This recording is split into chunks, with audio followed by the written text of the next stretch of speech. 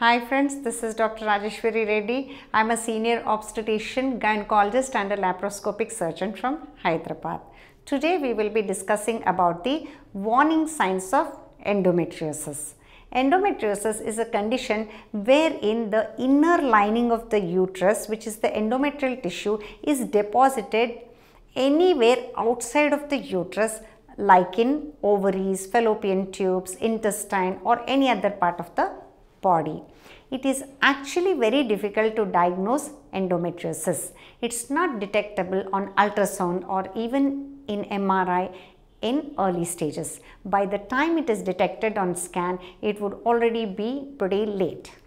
So let's see the warning signs of endometriosis. The first and most common symptom of endometriosis is pain, pain and pain.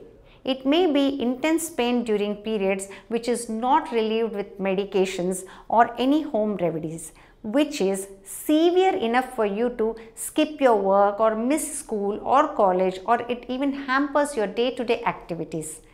Most of the time women are taught that period pain is normal and so we should tolerate it.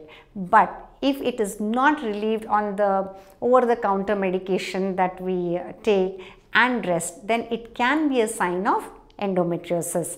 The pain can be just before periods or till the period gets over or all through the periods or it may just be on the first and the second day of menses. Second symptom would be painful sex. If there is pain during sexual activity, it is suggestive of endometriosis. As the penetration stretches the endometrial tissue which is already deposit on the inner side of the vaginal wall and uterosacral ligament, it causes pain.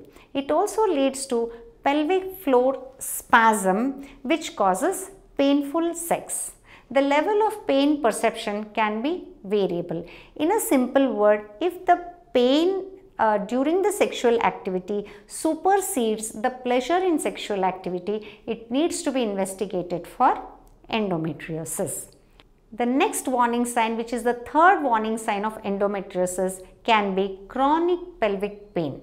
Severe lower abdominal pain all the time with varying intensity with or without periods can be an indication of endometriosis.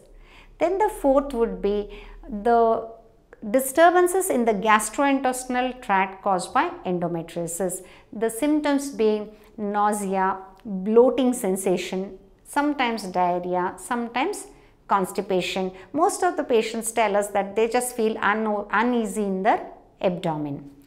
The last and the fifth warning sign of endometriosis is it may be leading to infertility. About 30 to 50 percent of infertility patients are diagnosed with some form of endometriosis. Could be um, endometriosis on the tube or chocolate cyst or it may even be higher grades of endometriosis.